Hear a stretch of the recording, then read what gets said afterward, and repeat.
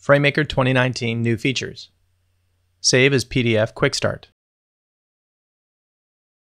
In FrameMaker 2019, we've rewritten and relocated the options for saving PDF files. New and existing users are likely to look in the File menu for the Save as PDF options, so we've left that previous menu command there for ease of use. However, choosing this option displays the resulting dialog, which gives you a hint as to where the PDF controls reside.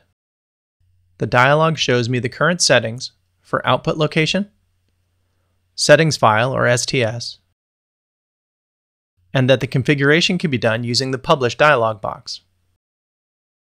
This command may be all you need once you've set PDF options appropriately, but as you see, the Publish pod now contains most of what we want to customize the PDF output process.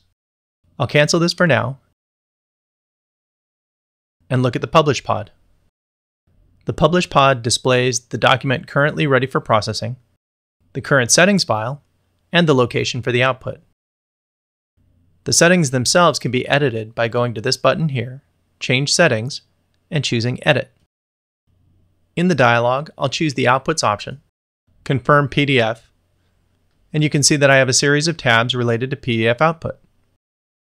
If you've created a named preset for PDF for FrameMaker or other applications, you'll likely find its name in the preset name list.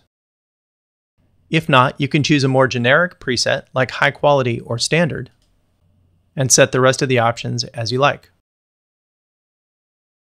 If not, no worries. You can use the default values or set any options as required by your workflow. Marks and bleeds, security, and two tabs for data output are also available as needed to address those specific workflows.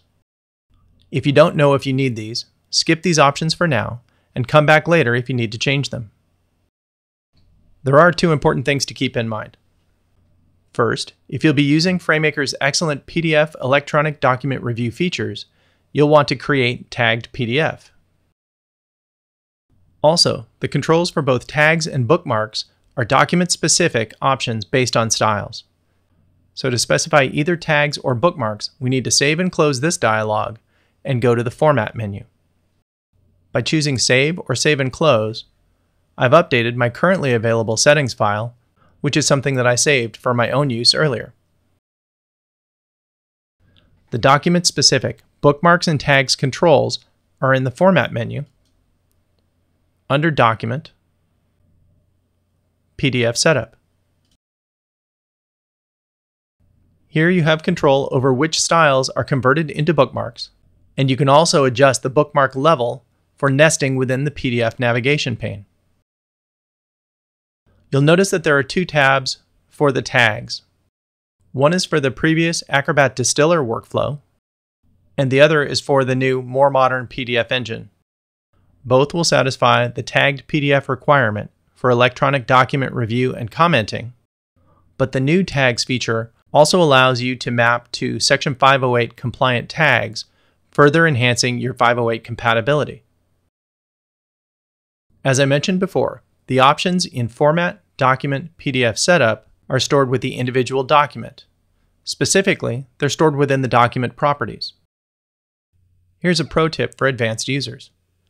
If you maintain a document template for your projects, set these options in the template file so that you can import them as needed into your other documents using file import formats. For more detail on individual PDF processing options, See the separate video, PDF Workflow Changes in FrameMaker 2019. For a personalized demo or questions, please write to us at techcom at adobe.com.